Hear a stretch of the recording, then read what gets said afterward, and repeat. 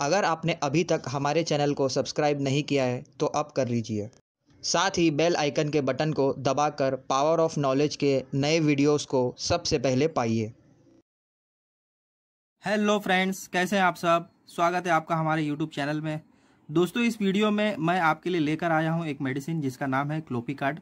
दोस्तों, ये medicine heart patients के लिए यूज़ होती है, जिन्हें हार्ट अटैक या हार्ट स्ट्रोक की शिकायत है। ये उन लोगों के लिए यूज़ की जाती है।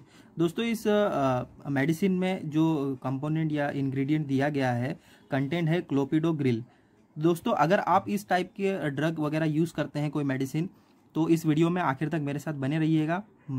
मैं दूँगा इसकी पूरी जानकारी आपको इस वीडियो में। तो चलिए बढ़ते हैं आगे वीडियो में। तो सबसे पहले देखते हैं कि ये इसको बनाने वाली कंपनी कौन सी है।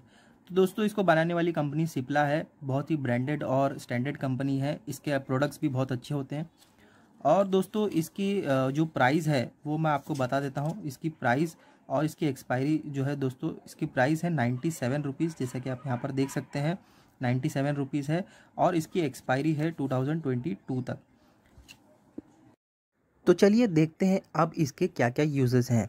यानी ये किन लोगों के लिए यूज़ किया जाता है।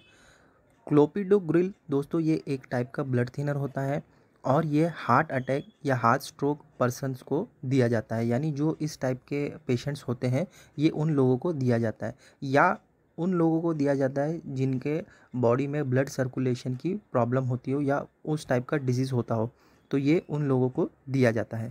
तो चलिए देखते हैं कि ये काम कैसे करता है। दोस्तों, ये एक टाइप का ब्लड थिनर होता है और जब ये आपकी बॉडी में जाता है तो आपकी नसों में जो खून फ्लो होता है, जो खून बहता है, उसको ये आसानी से बहने में मदद करता है। तो चलिए दोस्तों, अब मैं आपको बताता हूँ इसके प्रिकॉशंस यानी इसको यूज़ करने से पहले आपको क्या क्या चीज़ों का ध्यान रखना है। तो चलिए मैं बताता हूँ। दोस्तों, इसमें इनएक्टिव इंग्रेडिएंट होता है तो अपने डॉक्टर से ज़रूर कंसर्न कीजिए इसको यूज़ करने से पहले, बिना अपने डॉक्टर की सलाह के इसको यूज़ ना करें। दोस्तों, अगर आपको किसी टाइप की ब्लीडिंग वगैरह होती हो या आपको स्टमक अल्सर है या आपकी सर्जरी वगैरह हो चुकी है तो आपको ये अपने डॉक्टर को ज़रूर बताना है ताकि वो आपको इसके मेडि इस मेडिसिन के अल्टरनेट दे सके। और दोस्तों प्रिकॉशंस में मैं आपको एक और चीज़ बताना चाहता हूँ कि अगर आप अल्कोहल या शराब वगैरह के आदि हैं या आप यूजुअली आप उसको यूज़ करते हैं या पीते हैं अल्कोहल तो आपको स्टमक ब्लीडिंग वगैरह हो सकती है। तो इसको यूज़ करने से पहले या शराब वगैरह पीते हैं तो इस मेडिसिन को आप यूज़ ना करें।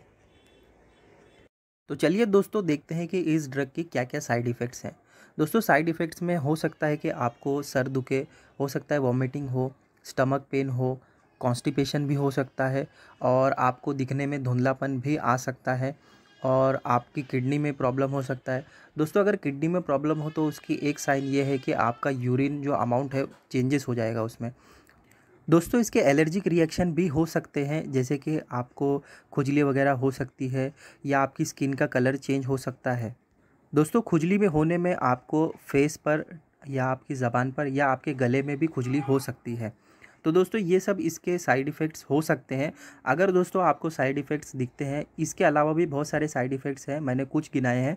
अगर आपको कुछ साइड इफ़ेक्ट्स या इसके अलावा कुछ भी साइड इफ़ेक्ट्स होते हैं तो आप अपने डॉक्टर से जल्दी से कंसर्न कीजिए और अपने डॉक्टर को बताइए कि ये मेडिकेशन आपको सूटेबल नहीं है, ताकि वो डॉक्टर आपको इसका अल्टरनेट दे सके।